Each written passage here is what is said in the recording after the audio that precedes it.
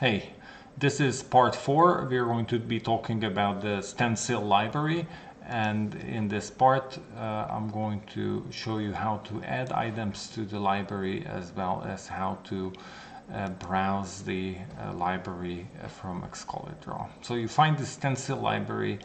uh, by clicking this button and you can see I already have a couple of uh, items here uh, say I don't find what I want, then I can click browse the library and here I can go through the various uh, library items uh, already uh, available uh, with Excalidraw and say I want to add these computers to my Excalidraw in Obsidian.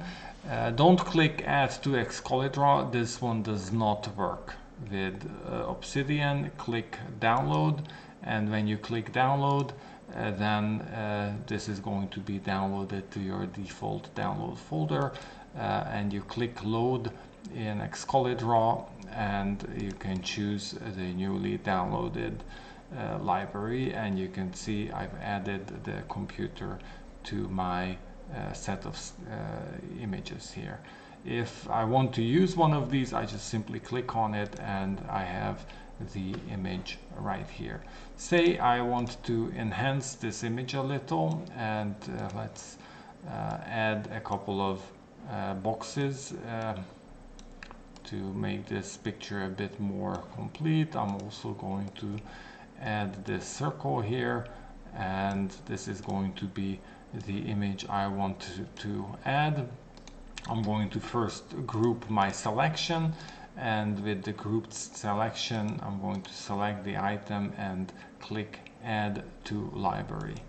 and with that if I now come to the library you can see that my new computer with the three boxes and circle uh, was added and I can just simply click and add it to my drawing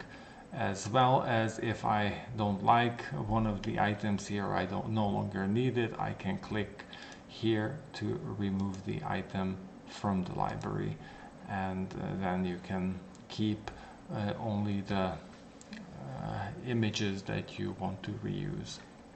here uh, for yourself. So